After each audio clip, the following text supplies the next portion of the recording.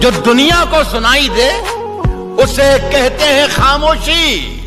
वो जो आँखों में दिखाई दे, उसे तूफ़ान कहते हैं। जो दुनिया को, बस इसी तरीके से हम सुनते रहिए, मेरा काम चल जाएगा। जो दुनिया को सुनाई दे, उसे कहते हैं खामोशी।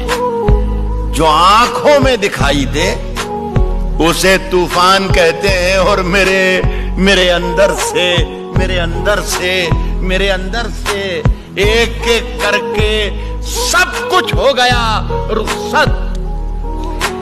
मगर एक चीज़ बाकी है, जिसे ईमान कहते हैं।